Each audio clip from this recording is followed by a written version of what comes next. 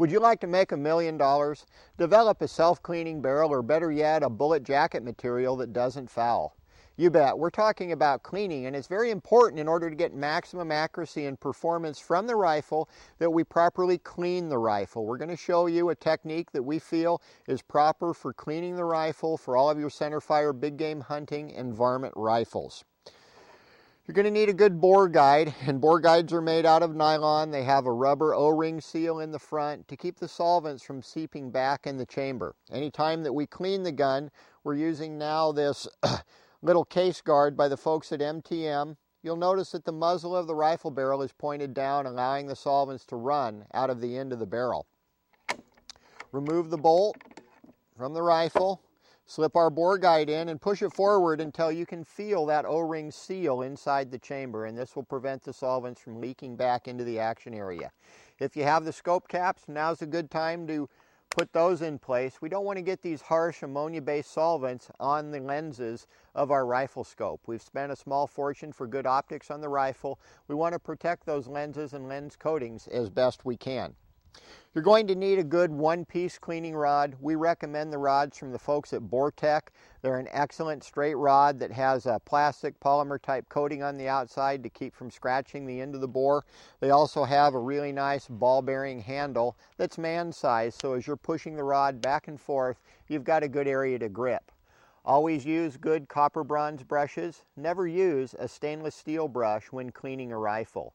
Some of the new nylon brushes that are out there are also a good idea as they will help oxygenate the solvents to help better cleaning action inside the bore. But it's hard to beat a good copper phosphorus bronze brush. In the ammonia type solvents, we recommend the Barnes CR10 for an ammonia-based solvent. This is really hard to beat. If you're looking for a non-ammonia-based solvent, Holland's Witch's Brew is probably one of the finest carbon and copper removers that you can buy. Anytime that we clean a barrel, after we've cleaned it, it's important that we apply some type of protective bore conditioner, if you will, to the inside of the barrel to keep it from rusting if it is a chromoly based barrel, and also to provide a little bit of lubricity for that first bullet going down the barrel.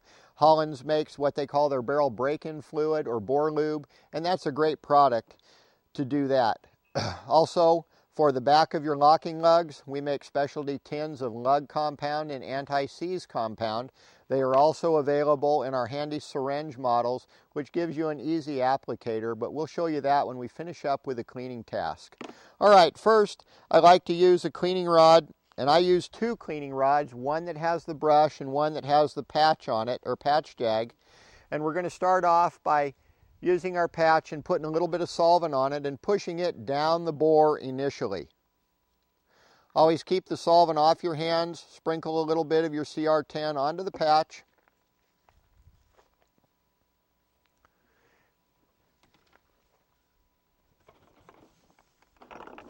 And push it down the bore. This gives us a little bit of solvent in the bore now. Once we've pushed that wet patch of solvent through the board, now it's time to start with a little more elbow grease. And again, apply some of our CR10 solvent to the brush. You can see that we've put a little white cleaning rag on the back of the stock. This keeps the solvents from getting on that nice finish or paint job on the back of our stocks. We've also machined a nice little nylon bushing that fits into the backside of our bore guide and this further helps align the rod to keep it from porpoising down the bore. Nice slow deliberate strokes. We don't want to get in a hurry. Push it down to the end, retract the rod. That is one stroke. Okay, we often hear the adage of one stroke for every shot. That's an old wives' tale. We clean the barrel until it's clean, and this usually requires 70 to 80 strokes using a good ammonia-based solvent. Every 10 strokes or so, add more solvent to the end of the brush. We need to have plenty of solvent in the bore when we're cleaning. Okay, don't be dry brushing the bore. Nice, slow, deliberate, straight strokes. You can kind of watch as the rod breaks out through the end of the barrel there. Just as it breaks out, when we get ready to retract the rod, we want to retract it nice and slow. We don't want to jerk it back into the barrel. We want to allow the cleaning brush to center itself coming back in the bore so we don't do any damage to the crown of our rifle. This is especially important if we're dealing with a bench rest or a highly accurate varmint rifle. Okay, we're about to complete our 70 to 80 strokes, adding more solvent every 10 strokes.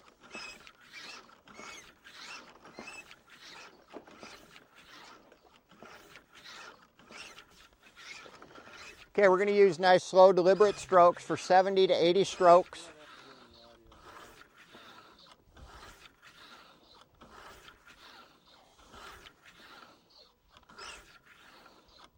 Once we've completed our 70 to 80 strokes, remove the cleaning rod. We're going to use our rag and always get in the habit of wiping the rod down. We don't want to have any grit or debris on the cleaning rod, which may become embedded and further score the inside of the barrel.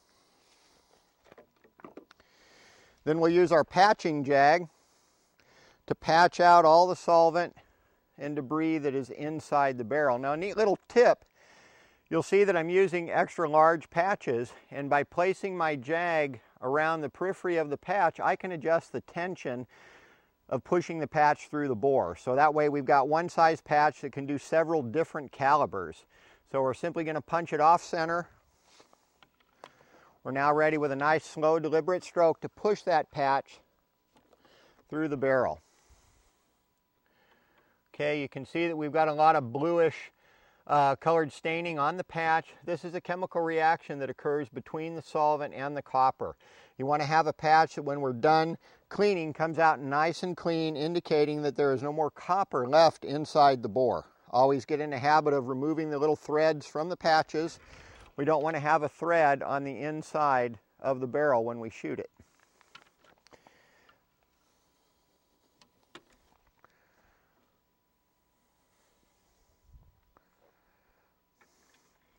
Always retract the rod nice and slow in the patching operation so we don't score or scar the inside of the barrel from careless cleaning rod technique. Okay, once we have the barrel clean, our patches are coming out nice and clean. Now we're ready to add some type of a lubricant to the bore. With a nice clean patch, we recommend a little bit of the Holland Bore Lube. Shake it up, and just apply a couple little drops around the edge of the patch. It doesn't require much. We just want a real thin microscopic film of lubrication in the bore to protect the bore from rusting and provide a little bit of lubrication for that first bullet down the barrel. We don't want to be shooting a bullet down a bone dry bore. This can raise pressures of the cartridge depending upon how hot of ammunition that we're shooting through that particular rifle. Okay, you don't want a sopping wet patch as we mentioned earlier, just a real thin film is all that's required.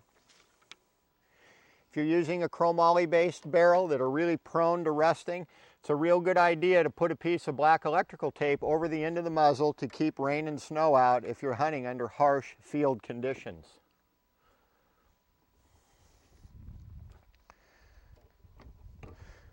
Okay, that pretty well covers the brushing technique of getting the barrel clean. Next month, we're going to show you the proper techniques of lug maintenance, where to apply your anti-seize compounds, as well as a lubricant in the cocking cam for smooth cocking of the rifle. I'm Darrell Holland for AGI, and I'll see you next month with another tip.